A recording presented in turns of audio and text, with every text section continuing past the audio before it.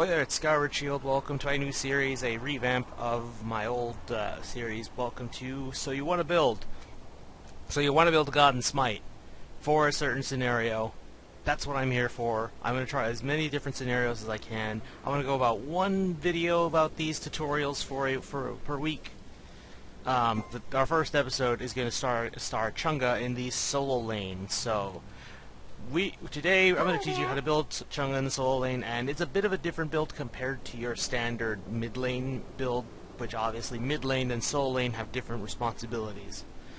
Uh, mid lane is all about having uh, build up to your burst because you are the you usually in most common scenarios you're the you're the high hitting damage dealer from, that's magical compared to like the ADC which does constant uh, damage like over time with their basic attacks most of the time.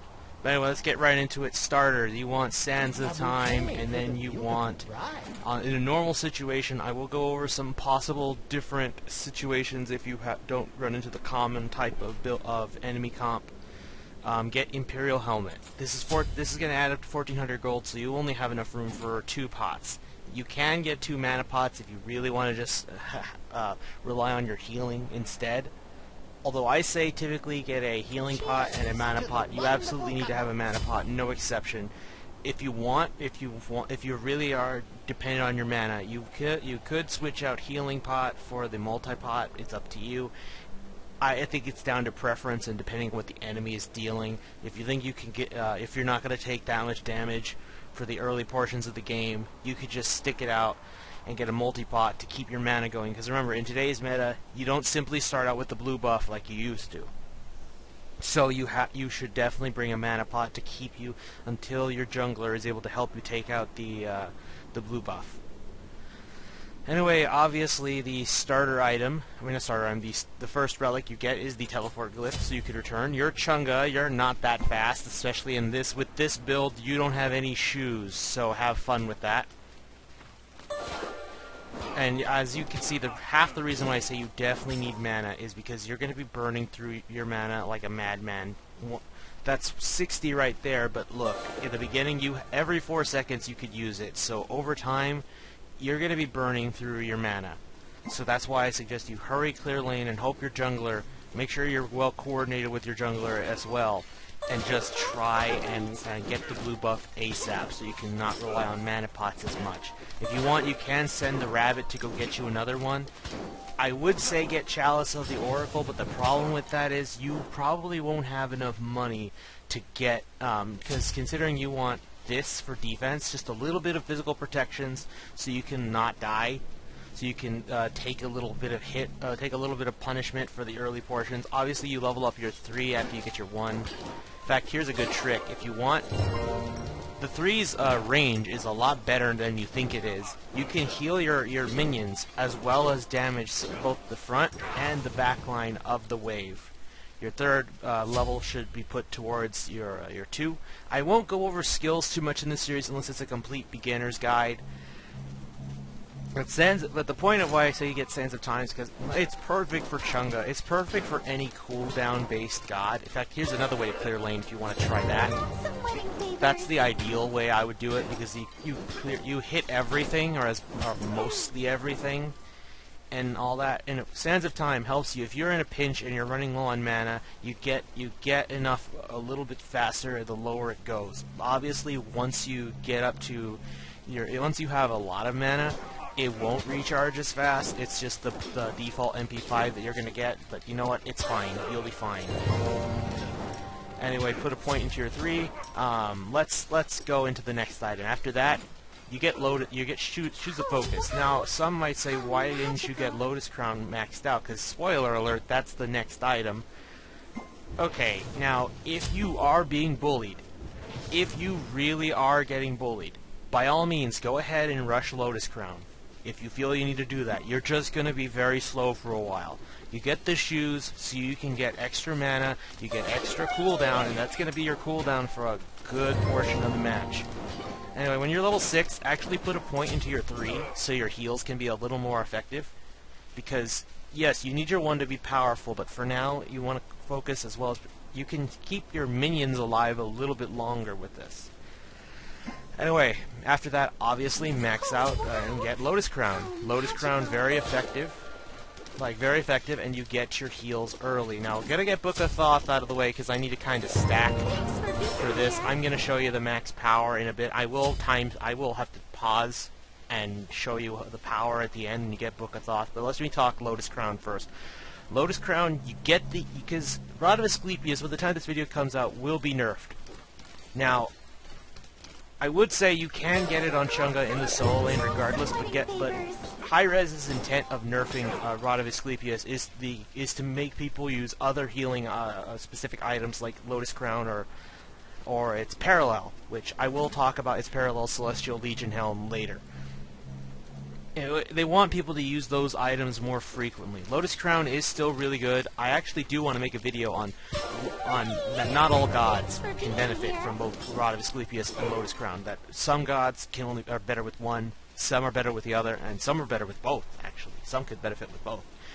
But you get you get the team fight item because that's why you get Lotus Crown for the sake of heals and the team fight when the team fight phase happens, like 20 minutes in the match, you are going to want um, you're going to want this instead of normally in the mid. If you're in the mid lane, you may not rush Lotus Crown. In fact, you might have a build like this, but you would have gotten Book of Thoth or Warlock Sash uh, instead before you got your shoes. Then stack that, get your shoes. You might get your pen. You might get Rod of Asclepius afterwards, but by the time you get Lotus Crown, it will have been so late in the match. You're not. It may not even be complete unless you're ahead. But if you get it now, you get it. You make it first or second that you complete, and you will have that on on standby. And to top that off, because of the protections, you can heal yourself when you're being chased down by enemies, and you might actually live through, through a fight. You might live through a fight, and you might help allies live through a fight because of those protections. Again, I will talk about Celestial Legion Helm, but for later basically because you're getting Book of Thoth, you're just you're you're kind of saying I may or may not get Rod of Tahuti. Now, Rod of Tahuti, you can say is better than um, is better than Book of Thoth. I can understand that, but it, with this, this, since we're a soul laner and not a mid laner, you are not being depended on more so for your damage. Well, depending on who you are, but typically you're not just there for your damage, you're there to be a nuisance to the enemy team, you're there for the CC, you're there to, to be a second a secondary tank in most uh, most cases. But um, anyway, now here's where things get a little controversial. Because I got Lotus Crown, I have physical protections, but what about magical? Well, actually, they moved it here, so let me correct that. I say get Voidstone. Now, technically, this means you have no uh, pen. Technically, it means you have nothing. All you have is an aura. Now, most most Guardians won't get Voidstone despite it being an aura. It's an aura that afflicts other enemies, and it's good. It's pretty. It's good to have because you know you're you're a healer, and as everyone knows, healers love to get focused on by the enemy team. So on one hand, this may seem crazy, but on another, guess what? Because people are trying to kill you, they're going to have their, their protections reduced. Which means if your allies are there, they're going to have an easier time taking them out, as well as protecting you. Mind you, this is assuming this is a well, a, a good enough coordinated team. Now, with this, you're going to get magical protection, so you can take some damage from another mage or a guardian, depending on how they are, like if they're aggressive or not, like a Bacchus or um, and Ares, you can tank their hits a little bit. Anyway, so with that in mind, the next item. The next item is going to be Chronos Pendant. You want the cooldown, and guess what? For for the moment, until you sell your starter, you have max uh, you have max cooldown. How does that make you feel? Look at that. Five seconds for that. Two, three seconds for that for your one, and your ult. Gonna take 55, 55 seconds. Of course, because of Chronos Pendant's passive, every 10 seconds, one a second comes off, everything on cooldown. You uh, you're gonna be get be able to use your abilities, especially your one and your three, and eventually your two, very efficiently. Anyway, so once you're done with that, your sixth item, your sixth item is whatever you think you need. Do you think you can get more power and you want to just one? You can, if you get Rod of Tahuti on Chang'e... Okay, we are at 323 power. I should probably show... I should probably show off basically what you're going to be wearing. I'm going to go with a speed buff because that's not going to affect my physical stats, I, be I believe. So let's just clear the wave. I want to get these stacks maxed, so actually, I will see you guys in a moment. I'm going to complete these stacks. Okay, I'm back. Got the stacks completed. Um, okay, assuming when you had Sands of Time still, you are about you are at about 349. Well, to be fair, I'm not level 20. Let's get those levels going up real quick. Also, one benefit of getting your dance, if you want, you can actually sneak a point onto your dance or two a little bit earlier, if you think you can, if you think you need that, because if you put more points into your cooldown, or into your into your two, your cooldown goes down. So it started at 12, now it's 7.2. But that's because we had max cooldown right now. Once you sell it, we're about 358 power. Okay, that's pretty nice. But now, if you choose Tahuti, you're going all the way up to 579. That is really good power for a solo laner. You are just as much of a damage dealer as your mid laner is. So hypothetically, if if somebody like the jungler tries to box you, and you know they've used stuff like their jump to catch up to you, you could just take them out. The damage on there, mind you, that was just a raw bot, but typically you're going to be able to wipe them out, especially if you can target multiple people and hit them with your ult. That's a longer stun. That means more time for you to take them out, because all you need to do is ult, use your 1, and then use your 3, and then maybe a basic attack or 2, and they're dead. You have a lot of power to, to roll with with this one. Another, all their alternatives, if if this is a bulky team, like they are pretty tanky, like say they have like a Bracken jungle, and they've got already a bulky uh, wall like a Sylvanus. Or they could, or like, like if, or if you feel like everybody is building some protections, like even the junglers. Some junglers like to build some defensive items, like a Thor. Like Thor can be Bruiser. He'll build like a breastplate of valor and a bulwark of hope. If you feel you need more protect, uh, more shred, you can get Obsidian Shard. Your power won't be as high, but you know you're still going to be getting through people's defenses. In fact, another item that could be good Spear of the Magus, because you have such low cooldown, you're going to be breaking down their protections. In fact, just using just using your 1 and then your 3, or you could just open up with your 3 and then your 1, since your 1 does more power, you will you can reduce their magical protections by 10, and then just your 1 will do a little bit more. The last item I could recommend from from that's power related um, is Spear of Desolation. It got a, it got cheaper. It's 2,600 gold now if you receive an, a kill or assist on an enemy god, all your cooldowns are reduced by one second. Now, I will say this may be a bit redundant. In fact, the one thing I'll say is if you get this, I would probably sell your shoes of the fo- uh, shoes of focus for um, like for excuse me, shoes of the magi, because you get a little bit of flat pen from that, and really, you're not getting you're only getting 20 flat pen with this, so you kind of want more there if you if you want, because you already have max cooldown again. It's like you just upgraded Sands of Time, basically. However, if you feel you need your heals to be more effective, I can recommend Rod of Asclepius because you know it's not that much power. You get uh, you get extra HP, which is always nice, but you move a little faster. You got you've got Chang'e since she doesn't have like a jump or anything. Most healers don't have really any escapes, save for like Terra that's a lot of them pick up of Asclepius because the movement speed allows them to retreat faster or, get, help uh, allies faster. Movement speed is nice in moderation. If you just get a little bit extra movement speed, you're great. As you know, the more movement speed you try to get, if if you try to go like theoretically, I actually wanted to do like um, as a dare. Um, an all movement speed Mercury, but that's a bad idea. You're actually going to move slower in the long run. But a little bit of movement speed that's subtle, like Rod of Asclepius, can be great. That's why it's a, it's good to have like in fact Chang'e in that since uh, spoiler to that video, Chang'e is one of the few gods I say that can benefit from both Lotus Crown and Rod of Asclepius. I'll get into that in another video for a video that's that's something I've been wanting to do for months now. But basically, yeah, this is the, the ideal build, the perfect build if you want to just go to town, get Tahuti magical. Now, anyway, let's talk alternative scenarios. So, for that, I will sell everything but Book of Thoth because I do not want to get those stacks again. That is not fun. Okay, so you get your starter item, Sands of Time. If they're another mage, just get shoes. In fact, with this, you should be able to have enough to buy a chalice. Uh, You can you have enough money to buy a chalice of mana. Now the problem with that is it feels like you're still gonna want to get mana pots, which is unfortunate. Because if you're good, if you're good, you don't you may not ever really back to base as Chang'e. As you know, with that build in particular, I should mention that build, especially once you get Tahuti, gives you so much MP5 that you don't know what to do with. You can theoretically never go back to base ever again. The only time you're going back is if you die. And that's fine. You'll be fine. Like, that's the point of this solo lane Chang'e build. You can sustain so well, you might even outlast the mages in the mid lane.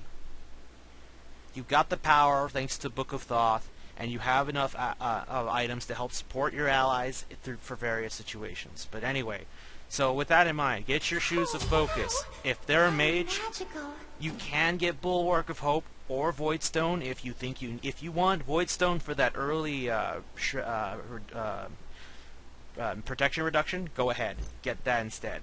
Up, okay, game. Anyway, you can get that if if that if you're not wanting to do that right away and you want to sustain yourself, you can get Bulwark of Hope. Now I will say if you're going to get Bulwark of Hope, that probably means you're going to get Obsidian Shard. So let's go with the build. Bulwark of Hope, get that out of the way. Or if they're a healer like Chang'e, because you never know, get Pestilence instead. Chances if they can heal, even if they're like a Herc, if it's a if there is a Herc on the on their side that's fighting you, consider building Pestilence. You may not build it there because you want Lotus Crown instead because it has it has physical protections and he's a physical attacker, so you know do that. If, like a Herc or a Guan Yu, consider getting Pestilence after Book of Thoth because you'll have power and you want the anti-heal. But anyway, so let's get your you get your Bulwark of Hope, then you get your stacks out of Book of Thoth. Now from there you can make a choice. I say right after that, go for some pen. Oh, wow. Then get your Chronos pendant. Sell your sell your Sands of Time and whatever you think you need right there. Like Rod of Tahuti. Bam. There you go. Still has a lot of power, and you also have a lot of health. Um, should, I think that's. I think this is a good build. Now, anyway, another alternative, just to clear it up. If you want to get defenses all bunched up in one item, and you don't want to make room for it, I can recommend Hide of the Urchin. Although you're gonna probably want to build this before you even get Book of Thoth or right after, because here's the thing: you want to get this before you get into the te- into the team fighting uh, section of the game of the match, because if to me Hide of the Urchin is an item that's now forgotten. In season three, it was a it was a nice item, and then after they they made it cheaper and easier to get, I thought at the beginning of season four everyone's gonna want to pick up this item, but no, they don't. Everyone picks up, or the supports, I should say, the supports always build, um, as you know, Gauntlet of Thieves, which was different in Season 3. Good for the selfish healers. Now it's good for everybody. As with So that's what the support's going to get. Now you won't need that. I can argue, make a case for Shield of Regrowth, but honestly I don't want that because it doesn't have any protections. That's why I don't recommend it on Chang'e. Unless it's like dual or something, which, anyway. Um, you get of the Urchin, and because you got it early, you're going to have plenty of opportunities to get it stacked because as you know, you get 3 magical and physical protections for each god kill or assist, up to 10. So if you get this thing maxed out, you have 70 physical and 70 magical protections. To put that in perspective, Lotus Crown only offers 60 physical protections, and Voidstone only offers um, only offers 70. To, so it actually matches Voidstone's protections, and it surpasses um, it surpasses uh, Lotus Crowns by a bit and it gives you extra HP and extra mana. Pretty good. It's a pretty good deal. But anyway, that's basically what I. That's basically everything for this video. Um, any other uh, other tips and tricks I can recommend is again be well coordinated. You're probably going to want your jungler to help you in the early portions if you can, because if they because they're going to try and gang up on you. And if Chang'e is behind in the match, she I wouldn't say she's irrelevant. There are other gods that have that are worse when behind.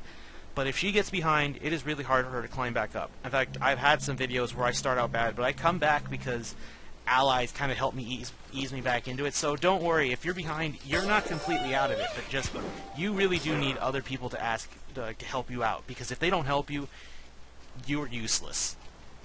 Even if you get your heal your healing items, you're kind of useless in terms of getting enemy kills, helping with assists. Minus your minus your ult, your ult will keep you relevant unlike someone who like an like an Odin who's behind, because uh, even though an Odin is behind, he's still dangerous because he has the cage. You have your ult. That's your saving grace. You need to keep that in mind and fire it when you feel you can you can help secure kills or take or take enemies out.